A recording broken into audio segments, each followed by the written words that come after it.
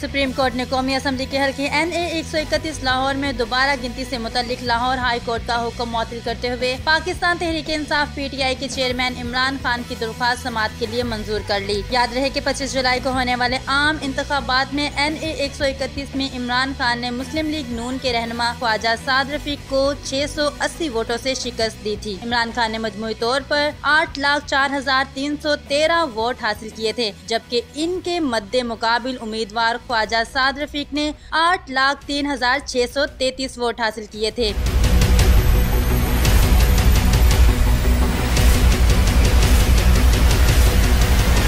خواجہ سعد رفیق نے عمران خان کی کامیابی کو چیلنج کرتے ہوئے ریٹرننگ آفیسر آر او سے مسدد شدہ ووٹوں کی دوبارہ گنتی کی درخواست کی تھی، جس میں عمران خان کی کامیابی برقرار رہی تھی۔ تاہم، ان کی کامیابی کا مارجن کم ہو کر چھ سو آٹھ رہ گیا تھا۔ بعد ازاں سعد رفیق نے آر او سے پورا حلقہ کھولنے کی درخواست کی، جسے مسدد کر دیا گیا۔ تاہم، رہنما مسلم لیگ نون نے آر او کے فیصلے کو لاہور ہائی کورٹ میں چیلنج کر دیا تھا۔ لاہور ہائی کورٹ نے چار اگست کو خواجہ سعد تحریک کی درخواست پر سماعت کی اور الیکشن کمیشن کو این اے ایک سو اکتیس میں عمران خان کی کامیابی کا نوٹیفیکیشن روکنے کے احکامات جاری کرتے ہوئے حلقے میں ووٹوں کی دوبارہ گنتی کا حکم دیا تھا۔ ہنا صدف 25 نیوز، اسلام آباد۔